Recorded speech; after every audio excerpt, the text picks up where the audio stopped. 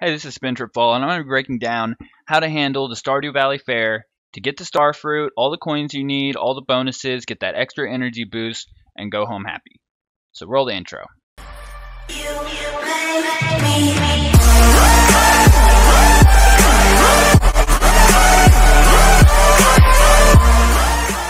Okay, now that we've uh, we've done the intro, let's go ahead and get into the meat of this. So we all know you're going to have to do the Grange display, which is means you need as many gold items as possible, which includes animal products, artisan goods, cooking, fish, foraging, which includes flowers and tree saps, fruits, minerals, and vegetables. And you want to get a gold, if possible, uh, item in those categories. As many as you can. In the animal products, I'd go for a large milk if you have one, stuff like that. Other than that, the best way is to fish.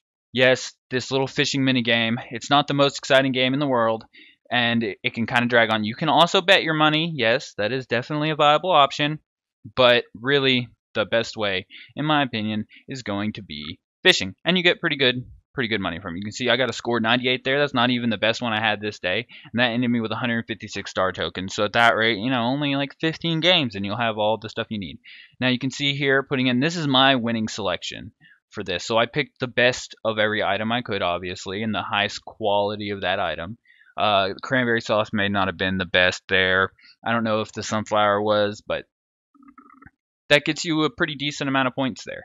And that's enough to win uh, win the Grange competition, which gives you an extra, I believe, 800 star coins. So you can take that into account. I had a little extra. You can see here, here's the gambling. It is a 50-50 split. There's no house bonus, so it's not the worst uh, worst gambling in the world, but but you can lose.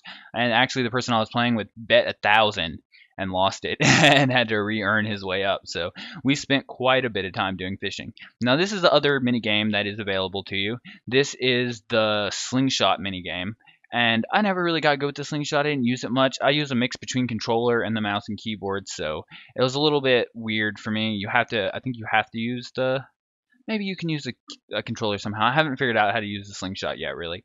But the mini game, I mean, I, you click and drag with the mouse, so I just use the mouse. But uh, the mini game, a little bit tricky and doesn't get you as many points unless you're really good at it. Now, if you're hitting all your shots, may still be worth it, but it wasn't for me. You can also see right above me here is the little uh, strength man, and you can do that, but it only gets you one coin at a time.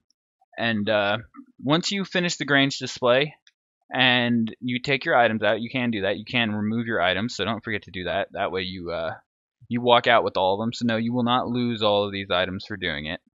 And once you get your Grange display, you get the star fruit. The star fruit is really good, and this is the main reason why. You can also get a scarecrow for 800 or a rare crow actually, but the star fruit is really a big bonus, and you need the star fruit because it gives you 34 extra energy permanently. Or star drop. I keep saying star fruit. Sorry, it's a star drop.